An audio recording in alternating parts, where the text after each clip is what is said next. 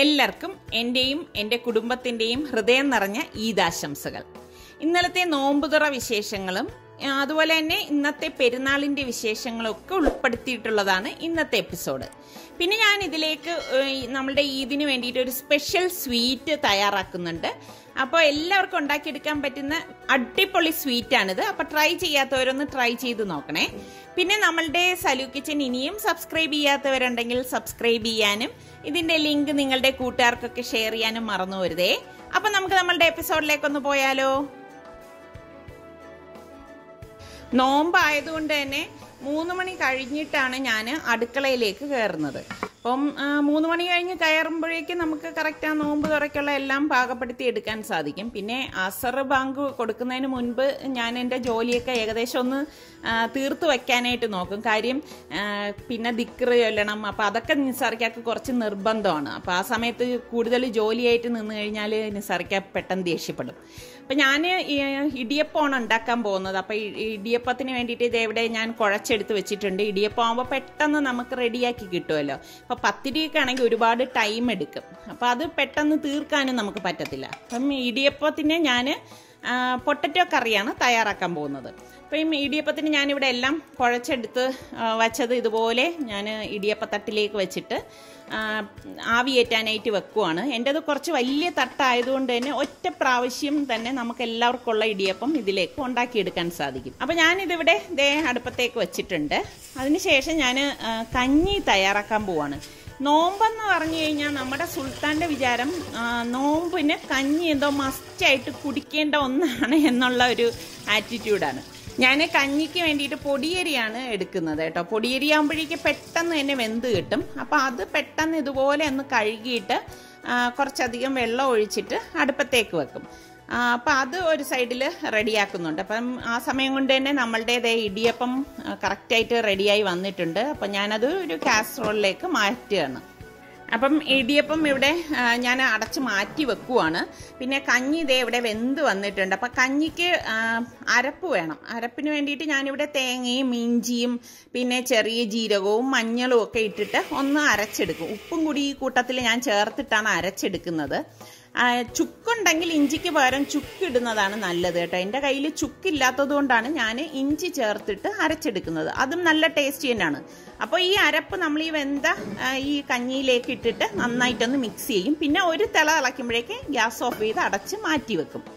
പിന്നെ നോമ്പ് ഉറക്കി ഇവിടെ സൽമാന് ഭയങ്കര ഇഷ്ടമുള്ള ഒരു കാര്യമാണ് ഈ ദഹി വട എന്ന് പറയുന്നത്.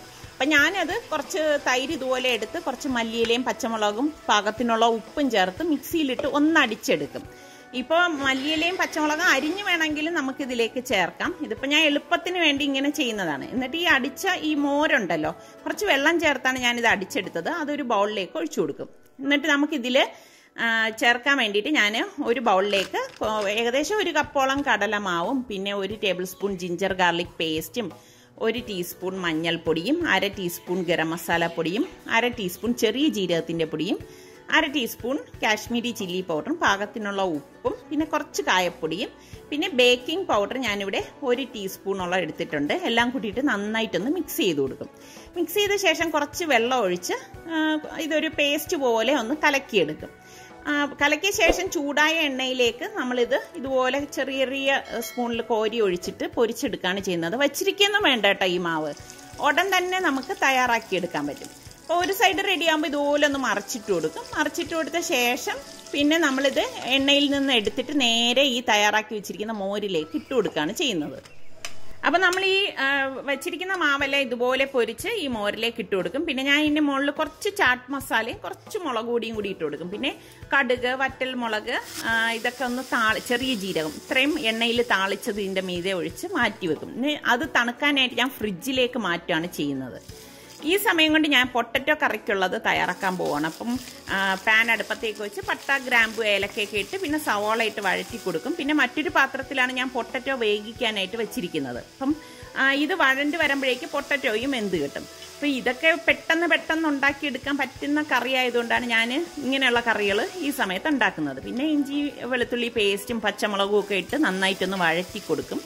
വഴറ്റി കൊടുത്ത ശേഷം നമ്മൾ ഇതിലേക്ക് ഒരു തക്കാളിയാണ് ഞാൻ ചേർക്കുന്നത്. ഈ തക്കാളി ഇതുപോലെ ഒന്ന് അരിഞ്ഞിട്ട് കൊടുക്കും. എനിക്കാണെങ്കിൽ പൊതുവേ ഇങ്ങനെ തക്കാളിയൊന്നും കറികളിലിടുന്നത് വലിയ ഇഷ്ടമൊന്നുമില്ല കേട്ടോ.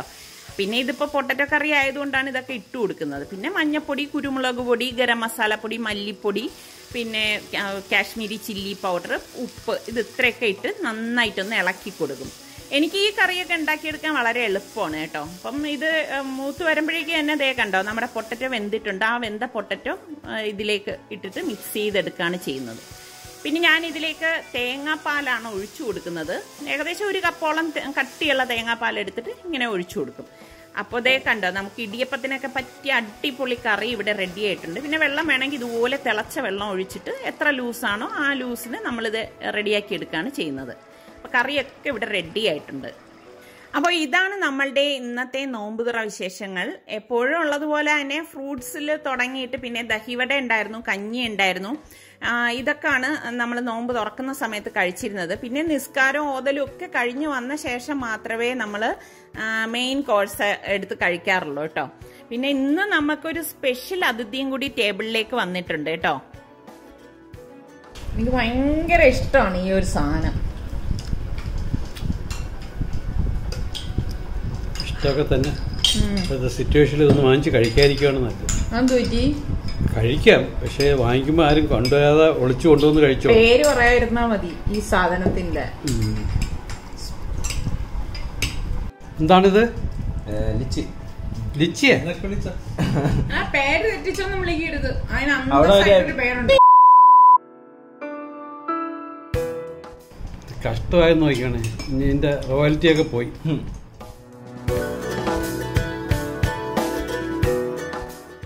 പെരുന്നാളിന്റെ ഇന്നത്തെ ദിവസത്തെ നമ്മളുടെ അഞ്ച് നാൽപ്പത്തിയെട്ടിനുള്ള പ്രഭാതമാണ് ഈ കാണുന്നത്. ഇപ്രാവശ്യത്തെ ഞങ്ങളുടെ പെരുന്നാൾ നിസ്കാരം വീട്ടിൽ തന്നെയായിരുന്നു. നിങ്ങൾക്കൊക്കെ എങ്ങനെയായിരുന്നു? അവിടെയൊക്കെ എന്തൊക്കെയുണ്ട് വിശേഷം? എന്തൊക്കെയാണ് ഞങ്ങൾ പെരുന്നാളിന് വേണ്ടിയിട്ട് തയ്യാറാക്കുന്നത്? ആ, അപ്പൊ പെരുന്നാൾ ദിവസം എന്ന് പറയുമ്പോൾ തന്നെ എന്തോ ഒരു മനസ്സിനൊക്കെ ഭയങ്കര സന്തോഷമുള്ള ഒരു ദിവസമാണ്. എന്നത്തെയും പോലെ തന്നെയാണ് ഇന്നത്തെ ദിവസമാണെങ്കിൽ എന്തോ ഈ ദിവസത്തിന് എന്തോ ഒരു പ്രത്യേകത എനിക്ക് ഫീൽ ചെയ്യാറുണ്ട് കേട്ടോ. പിന്നെ ഞാൻ നിസ്കാര ഓതലും ഒക്കെ കഴിഞ്ഞ് നേരെ കിച്ചണിലേക്ക് വന്നു ചായക്ക് വെച്ചു. നിസ്സാർക്കാണെങ്കിൽ രാവിലെ ചായയിൽ തുടങ്ങണം. അപ്പം നല്ല അടിച്ച ചായ നല്ല കടുപ്പത്തിൽ അടിച്ച ചായ ഞാനിവിടെ റെഡിയാക്കി എടുത്തിട്ടുണ്ട്. അപ്പം ഞങ്ങൾക്കുള്ള ചായയും ഇവിടെ മക്കൾക്ക് അവർക്ക് ചായ ഇഷ്ടമല്ല. അവർ കോഫിയാണ് കുടിക്കുന്നത്. അപ്പോൾ അവർക്കുള്ള കോഫിയും എല്ലാം തയ്യാറാക്കി ദേ അവർക്ക് കൊണ്ടുവന്ന് കൊടുക്കാണ്. അപ്പോൾ അവരെല്ലാം ദേ രാവിലെ തന്നെ കുളിച്ച് റെഡിയായി കുട്ടപ്പന്മാരായിട്ടൊക്കെ വന്നിരിക്കുകയാണ് അപ്പം അതെല്ലാം കുടിച്ചു കഴിഞ്ഞ് ഞാൻ ജസ്റ്റ് ഒന്ന് വെളിയിലേക്കൊന്ന് നോക്കി. നോക്കിയപ്പോൾ നല്ല ഒരു കാലാവസ്ഥ കേട്ടോ ഇന്ന് മഴയൊന്നുമില്ല. നല്ല ഭംഗിയുണ്ട്. നല്ല വെയിലൊക്കെ ഇങ്ങനെ വരാൻ പോകുന്നത് പോലത്തെ നല്ല ക്ലിയർ ആയിട്ടുള്ള ഒരു കാലാവസ്ഥയാണ് ഇന്ന് കാണുന്നത്. പിന്നെ ഞാൻ നേരെ അടുക്കളയിലേക്ക് വന്നു. ഇന്നിപ്പോൾ ഞാൻ ഇതിന് വേണ്ടിയിട്ട് സ്പെഷ്യൽ പുഡിംഗ് ആണ് തയ്യാറാക്കാൻ പോകുന്നത്. അപ്പം അതിന് വേണ്ടി ഞാനിവിടെ രണ്ട് ട്രേ എടുത്തിട്ടുണ്ട്. ചെറിയ ട്രേ ആണ് കേട്ടോ. അതിലേക്ക് കുറച്ച് ബട്ടർ ഒന്ന് ഇതുപോലെ ഒന്ന് ബ്രഷ് ചെയ്ത് വെച്ച് കൊടുക്കും. ഇനി നമുക്ക് വേണ്ടത് പഞ്ചസാരയാണ്. ഒരു പാനിലേക്ക് ഞാൻ ഇതുപോലെ ഒരു അരക്കപ്പ് കപ്പ് പഞ്ചസാര നേരെ ഇട്ട് കൊടുക്കും. കാരണം കാരമലൈസ് ചെയ്തിട്ടാണ് നമ്മൾ ഈ പുഡിങ് തയ്യാറാക്കുന്നത്. അപ്പോൾ പഞ്ചസാര ഇട്ട ശേഷം ഒന്ന് വെതറി ഇട്ട് കൊടുക്കണേ. രണ്ട് ടേബിൾ സ്പൂൺ വെള്ളം. ഇത്രയും മാത്രം മതിയാവും കൂടിപ്പോവേണ്ട. വെള്ളം ഒഴിക്കുമ്പോഴേക്ക് ഇത് ഒന്ന് മെൽറ്റാവും അതായത് ഒരു ഗോൾഡൻ കളറിൽ വരണം. ഒരുപാട് കരിഞ്ഞു വരുത് കേട്ടോ. കരിഞ്ഞു പോയി കഴിഞ്ഞാൽ നമ്മുടെ പുഡിങ്ങിന് ഒരു കരിഞ്ഞ ടേസ്റ്റ് ആയിരിക്കും. അപ്പോൾ ഈ തയ്യാറാക്കിയത് ഞാൻ ഈ ഇതുപോലെ ഈ ഒരു ട്രേയിലേക്ക് ഒഴിച്ചു കൊടുക്കുകയാണ് എന്നിട്ട് ഇതുപോലെ ട്രേ ഒന്ന് ഇതുപോലെ ഒന്ന് ചരിച്ചു കൊടുക്കുമ്പോഴേക്ക് തന്നെ ആ ക്യാരമൽ എല്ലായിടത്തും ആയിക്കോളും. അപ്പം അത് ഞാൻ മാറ്റി വെക്കാണ്. ഇപ്പോൾ അടുത്ത ട്രേക്ക് വേണ്ടി ഞാൻ ഇതുപോലെ തന്നെ അരക്കപ്പ് പഞ്ചസാര എടുത്തു ഇതുപോലെ മെൽറ്റ് ചെയ്ത് ദേ ഇതിലേക്ക് ഒഴിച്ചു കൊടുക്കുകയാണ് അപ്പോൾ നമ്മളുടെ രണ്ട് ട്രേയും ദേ ഇവിടെ ഞാൻ റെഡിയാക്കി നിർത്തിയിട്ടുണ്ട്. അപ്പോൾ അതിനൊന്ന് മാറ്റി വെക്കാം കേട്ടോ. പിന്നെ നമ്മൾ വലിയൊരു പാൻ എടുക്കണം. ഇതിലേക്ക് ഞാൻ നൂറ് ഗ്രാമിന്റെ ബട്ടർ ഇട്ട് കൊടുക്കുകയാണ് ബട്ടർ ഒന്ന് മെൽറ്റ് ആകുമ്പോഴേക്കും ഞാനിവിടെ ഒരു ലിറ്റർ മിൽക്ക് എടുത്തിട്ടുണ്ട് കേട്ടോ. നല്ല കട്ടിയുള്ള പാലാണ് ഞാൻ ഒരു ലിറ്റർ എടുത്തിരിക്കുന്നത്. വെള്ളം ഒന്നും ചേർത്തിട്ടില്ലായിരുന്നു. അപ്പോൾ പാൽ ഇതിലേക്ക് ഇട്ടിട്ട് ഒന്ന് ഇളക്കി കൊടുക്കും. അതിനുശേഷം ഞാനിവിടെ അര കപ്പ് പഞ്ചസാര ഇട്ട് കൊടുക്കുകയാണ് മധുരമൊക്കെ നിങ്ങളുടെ പാകത്തിന് ചേർത്ത് കൊടുക്കണം കേട്ടോ. ഞാനിവിടെ അര കപ്പ് പഞ്ചസാരയെ ചേർക്കുന്നുള്ളൂ. പിന്നെ ഇതിലേക്ക് ഞാൻ രണ്ട് ടീസ്പൂൺ ഏലക്കാപ്പൊടിയും കൂടി ഇട്ടിട്ട് നന്നായിട്ടൊന്ന് ഇളക്കി കൊടുക്കും. അപ്പം നിങ്ങൾക്ക് വേണമെങ്കിൽ ഏലക്കാപ്പൊടിക്ക് പകരം വാനില എസൻസ് വേണമെങ്കിൽ അതും ചേർത്ത് കൊടുക്കാം. പിന്നെ ഞാൻ ദേ ഇവിടെ ഒരു കപ്പ് റവ എടുത്തിട്ടുണ്ട്. ആ റവയും കൂടി ഇതിലേക്ക് ഇട്ടിട്ട് നന്നായിട്ട് ഇളക്കി കൊടുക്കണം. ഒരു ലിറ്റർ പാലിന് ഞാനിവിടെ ഒരു കപ്പ് റവയെ എടുത്തിട്ടുള്ളൂ. ഇരുന്നൂറ്റമ്പത് എം എല്ലിന്റെ കപ്പിലാണ് എടുത്തിരിക്കുന്നത്. ദേ അപ്പോഴേക്ക് നമ്മളിത് ഇളക്കി വരുമ്പോഴേക്ക് ദേ ഇതുപോലെ ഒന്ന് ചെറുതായിട്ട് കുറുകി വരും. ഓവറായിട്ട് കുറുകണ്ട കേട്ടോ. അതേ കണ്ട ഈ ഒരു പരുവം മതിയാവും. ഇതാണ് ഇതിന്റെ ഒരു കൺസിസ്റ്റൻസി എന്ന് പറയുന്നത്. ഇപ്പം ഞാൻ ഗ്യാസ് ഓഫ് ചെയ്തിട്ട് ഇതൊന്ന് തണുക്കാനായിട്ട് മാറ്റി വെക്കാണ്. ഇനി ഞാൻ മിക്സിയുടെ ജാർ എടുത്തിട്ട് ഇതിലേക്ക് ഞാൻ മൂന്ന് മുട്ട പൊട്ടിച്ച് ഒഴിച്ചു കൊടുക്കാണ്. പിന്നെ ഞാൻ മുട്ടയുടെ മണം വരാതിരിക്കാൻ വേണ്ടി ഒരു ടീസ്പൂണ് ഏലക്ക പൊടിയും കൂടി ഇട്ടിട്ടുണ്ട്. എന്നിട്ട് ഇതൊന്ന് അടിച്ചെടുക്കും. അടി ഒന്ന് അടിച്ചെടുത്ത ശേഷം ഇതിന്റെ അടപ്പൊന്ന് മാറ്റിയിട്ട് നമ്മൾ ഈ തയ്യാറാക്കി വെച്ചിരിക്കുന്ന റവയുടെ കൂട്ടില്ലേ അതിൽ നിന്നൊരു മൂന്ന് വലിയ സ്പൂണ് റവയുടെ കൂട്ടിട്ടിട്ട് ഒന്നുകൂടി ഒന്ന് അടിച്ചെടുക്കും. അപ്പോൾ ദേ ഇത് കണ്ട ഇതുപോലെ വന്നിട്ടുണ്ട്. അപ്പം നമ്മൾ ഈ തയ്യാറാക്കി വെച്ചിരിക്കുന്ന ഈ ബാറ്റർ ദേ ഈ നമ്മൾ ഇപ്പോൾ ഈ റവക്കൂട്ടിലേക്ക് ഒഴിച്ചിട്ട് ഒന്ന് മിക്സ് ചെയ്ത് കൊടുക്കണം. കട്ടയില്ലാതെ ഒന്ന് ഒഴിച്ച് മിക്സ് ചെയ്യണം കേട്ടോ. ഇതുപോലെ. അപ്പോൾ എളുപ്പത്തിന് വേണ്ടിയിട്ടാണ് ഞാൻ ആദ്യം ഒരു മൂന്ന് ടേബിൾ സ്പൂൺ മിക്സിയുടെ ജാറിൽ ഇട്ടിട്ട് അടിച്ചെടുത്തത്. അപ്പം ഇത്രയേ ഉള്ളൂ സംഭവം. ഇതിന് നമുക്ക് ഈ തയ്യാറാക്കി വെച്ചിരിക്കുന്ന ഈ ട്രേയിലേക്ക് അങ്ങ് ഒഴിച്ചു കൊടുക്കാം. ഇതുപോലെ ഒഴിച്ചു കൊടുക്കണം. നിങ്ങൾ ഒഴിച്ചു കൊടുക്കുമ്പോൾ ഒരു കാര്യം ശ്രദ്ധിച്ചേക്കണേ. ഒരു കാലിഞ്ചെങ്കിലും മുകളിൽ ഗ്യാപ്പ് വരത്തക്ക രീതിയിൽ ഒഴിച്ചു കൊടുക്കണം കേട്ടോ. അല്ലെങ്കിൽ എന്തെന്നാ ഇത് നമ്മൾ ഇളക്കിയെടുക്കുമ്പം ഇത് ഫോയിൽ ഒട്ടിപ്പോവും. അപ്പോൾ അതുകൊണ്ടാണ് ഒട്ടാതിരിക്കാനാണ് ഞാനത് മെയിനായിട്ട് പറയണത് കേട്ടോ. എന്നിട്ട് നമ്മൾ ഇതുപോലെ ഒരു ഫോയിൽ അലുമിനിയം ഫോയിൽ കൊണ്ട് മൂടിയിട്ട് ഞാനിവിടെ ഇതേ കുറച്ച് വെള്ളം വെച്ചിട്ട് തിള വരുന്നുണ്ട്. അപ്പോൾ അതിലേക്ക് നമ്മളിത് ആവിയേറ്റാനായിട്ട് വെച്ചു കൊടുക്കും. ഇഡ്ഡലി തട്ടുണ്ടെങ്കിൽ അത് വെച്ചു കൊടുത്താലും മതി കേട്ടോ. നമ്മൾ വെക്കുന്ന പാത്രത്തിന്റെ ലിഡിൽ ഇതുപോലെ ഹോൾ ഉണ്ടെങ്കിൽ അതൊന്ന് അടച്ചു കൊടുത്തേക്കണം. കാരണം സ്റ്റീം നല്ലതുപോലെ വന്നു വേണം ഇത് റെഡിയാവാനുള്ള ഒരു പത്തിരുപത്തഞ്ച് മിനിറ്റ് വേണ്ടി വരും ഇത് റെഡിയായി കിട്ടാൻ. അപ്പോൾ ഇതിപ്പോൾ ഇരുപത്തഞ്ച് മിനിറ്റ് കഴിഞ്ഞിട്ടുണ്ട്. അപ്പം ഞാൻ ദേ ഈ പുഡിങ് ഇതിൽ നിന്ന് മാറ്റുവാണ്. അപ്പം ഞാൻ നിങ്ങൾക്ക് കാണിച്ചു തരാം കേട്ടോ. ഇപ്പം ഇതെങ്ങനെയാണ് ഇരിക്കുന്നതെന്ന്. ദേ ഞാൻ ഫോയിൽ മാറ്റുകയാണ്. ഇതേ കണ്ട കുറച്ച് ഫോയിലേക്ക് ഒട്ടി പിടിച്ചിട്ടുണ്ട്. അപ്പോൾ ഇങ്ങനെ ഒട്ടി വരാതിരിക്കാനാണ് ഞാൻ പറഞ്ഞത്. നിങ്ങൾ ഇടുമ്പോൾ കാലിഞ്ച് താഴ്ത്തി വെച്ചിട്ടേ മാവ് ഒഴിക്കാവൂ കേട്ടോ. വീണ്ടും ഞാനിത് ഫോയിൽ കൊണ്ട് കവർ ചെയ്തിട്ട് ഇത് തണുത്ത ശേഷം ഞാൻ ഫ്രിഡ്ജിലേക്ക് തണുക്കാനായിട്ട് മാറ്റി വെക്കുവാണ്. ഫ്രിഡ്ജിൽ വെച്ച് നല്ലതുപോലെ തണുപ്പിച്ച ശേഷം നമ്മൾ കഴിക്കുമ്പോഴാണ് ടേസ്റ്റ് കൂടുതൽ അപ്പോൾ ഇന്ന് ഞാൻ മട്ടൻ കറിയും പത്തിരിയാണ് ഉണ്ടാക്കാൻ പോകുന്നത്. അപ്പം മട്ടൻ കറിക്ക് വേണ്ടിയിട്ടാണ് ഞാൻ ഉള്ളി അരിഞ്ഞെടുത്തത്. വെള്ളം ഞാൻ കുറച്ചധികം തിളപ്പിക്കാൻ വെച്ചിട്ടുണ്ടായിരുന്നു. ഇതിലേക്ക് പാകത്തിനുള്ള ഉപ്പ് ഇട്ട് വറുത്ത അരിപ്പൊടി ഇട്ടൊന്ന് കുഴച്ചെടുക്കുകയാണ് പിന്നെ മിക്സിയുടെ ജാറിലേക്ക് നമുക്ക് അരപ്പിന് വേണ്ടിയിട്ട് ഞാൻ മൂന്ന് ടേബിൾ സ്പൂൺ മുളക് പൊടി അര ടേബിൾ സ്പൂൺ മഞ്ഞൾപ്പൊടി രണ്ട് ടേബിൾ സ്പൂൺ മല്ലിപ്പൊടി ഒരു ടേബിൾ സ്പൂൺ ഗരം മസാല പൊടി ഇത്രയും ഇട്ടിട്ട് ഒന്ന് അടിച്ചെടുക്കും. അടിച്ചെടുത്ത ശേഷം ഇതിന്റെ അടപ്പൊന്ന് മാറ്റിയിട്ട് കുറച്ച് വെള്ളം ഒഴിച്ച് ഒരു പേസ്റ്റ് രൂപത്തിൽ വീണ്ടും ഇതൊന്ന് അടിച്ചെടുക്കും. നമ്മൾ ഈ അമ്മിക്കല്ലിലൊക്കെ ഇങ്ങനെ ഈ അരപ്പായിട്ട് അരച്ചെടുക്കില്ലേ ആ ഒരു പരുവം. ഇതുപോലെ. ഇനി ഞാൻ പ്രഷർ കുക്കറിലേക്ക് വെളിച്ചെണ്ണയാണ് ഒഴിച്ചു കൊടുക്കുന്നത്. വെളിച്ചെണ്ണയിൽ തയ്യാറാക്കുമ്പോഴാണ് ഇതിന് ടേസ്റ്റ് കൂടുതൽ മൂന്ന് ടേബിൾ സ്പൂൺ വെളിച്ചെണ്ണ ഒഴിച്ചിട്ടുണ്ട്. പിന്നെ കുറച്ച് ഉലുവയും പട്ട ഗ്രാമ്പു ഏലക്ക ഇത് ഇത്രയും ഇട്ട ശേഷം നമ്മൾ ഈ അരിഞ്ഞു വെച്ചിരിക്കുന്ന സവോള ഇട്ടിട്ട് ഒന്ന് വഴറ്റി കൊടുക്കും. ഇത് നന്നായിട്ടൊന്ന് വഴണ്ടി വരണം. അപ്പോഴേ ആ ഒരു മട്ടൻ കറിക്കൊക്കെ നല്ല ടേസ്റ്റ് കിട്ടത്തുള്ളൂ. ഈ സവളയ്ക്കൊപ്പം തന്നെ ഞാൻ മട്ടൻ കറിക്കും കൂടി ചേർത്തുള്ള ഉപ്പ് ഇട്ടിട്ടുണ്ട്. എന്നിട്ട് നല്ലതുപോലെ ഇളക്കി കൊടുക്കും. ഈ സമയം കൊണ്ട് ഞാൻ പത്തിരിക്ക് കൗണ്ടർ ടേബിളിലിട്ട് നന്നായിട്ട് കുഴച്ചെടുത്തിട്ടുണ്ടായിരുന്നു. അപ്പോൾ അത് ഞാൻ ചപ്പാത്തി പ്രസ്സിൽ വെച്ചിട്ട് പ്രസ് ചെയ്താണ് പത്തിരി തയ്യാറാക്കുന്നത്. കാരണം ഇന്നിപ്പോൾ കുറച്ച് കൂടുതലായിട്ട് ഉണ്ടാക്കേണ്ടതുണ്ടല്ലോ. അതുകൊണ്ടാണ് ഞാൻ ഇങ്ങനെ എളുപ്പത്തിന് വേണ്ടി ഇങ്ങനെ ചെയ്യുന്നത്. അപ്പം ഞാൻ പരത്തുന്നതും ചുടുന്നതും എല്ലാം ഒരേ ടൈമിൽ തന്നെയാണ് കേട്ടോ. അല്ലാതെ ഞാൻ പരത്തി വെച്ച ശേഷം ചുടുന്ന അങ്ങനെ ഒരു ഏർപ്പാടൊന്നുമില്ല. എല്ലാം ഒരേ സമയത്ത് തന്നെ ചെയ്ത് തീർത്ത് പോവത്തേ ഉള്ളൂ. ഇതേ നമ്മളുടെ പത്തിരി ഇതേ നല്ല പൊങ്ങി വന്നിട്ടുണ്ട്. അപ്പം ഞാൻ ഈ റെഡിയാവുന്നത് ഒരു കാസറോളിലേക്ക് മാറ്റിയിട്ടുണ്ട്. അതേസമയം തന്നെ നമ്മളുടെ സവോളയും ഇവിടെ നന്നായിട്ട് വഴണ്ടി വന്നിട്ടുണ്ട്. അപ്പം ഞാൻ ഒരു ടേബിൾ സ്പൂൺ ജിഞ്ചർ ഗാർലിക് പേസ്റ്റും മൂന്ന് പച്ചമുളക് ഒന്ന് ക്രഷ് ചെയ്തതും കൂടി ഇട്ടിട്ട് നന്നായിട്ട് ഇളക്കി കൊടുക്കും. നമ്മൾ ഈ മട്ടൻ കറിയൊക്കെ ഉണ്ടാക്കുമ്പോൾ പച്ചമുളക് ഇതുപോലെ ക്രഷ് ചെയ്ത് ചേർക്കുന്നതാണ് അതിനൊരു പ്രത്യേക മണവും ടേസ്റ്റും ഒക്കെ കൂട്ടുന്നത്. പിന്നെ നമ്മൾ അരച്ച മസാല ഇതിലേക്ക് ഇട്ടിട്ട് അതും ഒന്ന് ഇളക്കി കൊടുക്കും. അതോടൊപ്പം തന്നെ ഞാൻ ഒരു ടൊമാറ്റോയാണ് എടുത്തിരിക്കുന്നത്. ആ ടൊമാറ്റോയും ഇതുപോലെ ഇട്ടിട്ട് നന്നായിട്ടൊന്ന് ഇളക്കി കൊടുക്കും.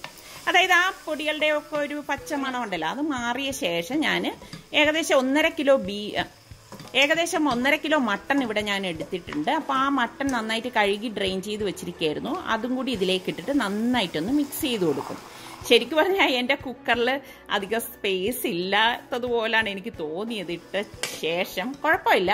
അപ്പം ഞാൻ കുക്കർ മൂടിയിട്ടിട്ട് വെയിറ്റ് ഇട്ടിട്ട് ഇത് വേവിച്ചെടുക്കുകയാണ് ചെയ്യുന്നത് ഞാൻ ഒട്ടും വെള്ളം ചേർക്കത്തില്ല. കാരണം മട്ടണിൽ നിന്ന് തന്നെ ചാറ് ഊറി വരും കേട്ടോ. അപ്പം നമ്മളുടെ പത്തിരി അവിടെ റെഡി ആയിട്ടുണ്ട്. അപ്പം പത്തിരിയൊക്കെ കഴിയാറായപ്പോഴേക്കും നമ്മുടെ മട്ടൺ നാല് വിസിൽ വരെയാണ് ഞാനിത് വേവിച്ചെടുക്കുന്നത്. സ്റ്റീം പോയ ശേഷം ഞാൻ കുക്കർ ദേ ഓപ്പൺ ചെയ്തു. ഓപ്പൺ ചെയ്തപ്പോഴേക്ക് ദേ മട്ടനൊക്കെ പാകത്തിന് വെന്ത് വന്നിട്ടുണ്ട്. ഇവിടെ ഇങ്ങനെ ഒരുപാട് ചാറൊന്നും നിസ്സാർക്കാക്ക് വലിയ ഇഷ്ടമില്ല കേട്ടോ. നിസ്സാർക്കാക്ക് ഇങ്ങനെ കുറച്ച് കുറുകിയിരിക്കുന്നതാണ് ഇഷ്ടം. അപ്പോൾ ഇതാണ് നമ്മളുടെ ഇന്നത്തെ ബ്രേക്ക്ഫാസ്റ്റ് മെനു എന്ന് പറയുന്നത്. അപ്പോൾ ഇതാണ് നമ്മളുടെ ഇന്നത്തെ ബ്രേക്ക്ഫാസ്റ്റ് മെനു എന്ന് പറയുന്നത്. പത്തിരിയും പിന്നെ ഇടിയപ്പം കുറച്ച് മാവ് ഉണ്ടായിരുന്നതിന് ഞാൻ എടുത്ത് ഇടിയപ്പം ആക്കിയതുണ്ട്. പിന്നെ നമ്മളുടെ ഈ മട്ടൻ കറിയും. പിന്നെ മട്ടൻ പത്തിരിക്ക് വേണ്ടിയിട്ട് ഞാനിവിടെ കുറച്ച് തേങ്ങാപ്പാൽ ഉപ്പിട്ട് എടുത്തിട്ടുണ്ട്. തേങ്ങാപ്പാലുമാണ്. അപ്പോൾ ഇന്നത്തെ ഈ ബ്രേക്ക്ഫാസ്റ്റ് ഒക്കെ കഴിഞ്ഞ ശേഷം പിന്നെ ഇനി കുറച്ച് നേരം നമ്മൾ കുറച്ച് സൊറയൊക്കെ പറഞ്ഞിങ്ങനെ ഇരിക്കും. ഞാനിത് ഫ്രിഡ്ജിൽ ഒരു മൂന്ന് മണിക്കൂർ തണുക്കാനായിട്ട് വെച്ചിട്ടുണ്ടായിരുന്നു. ഞാനിതൊരു ട്രേയിലേക്ക് മാറ്റുവാണ്.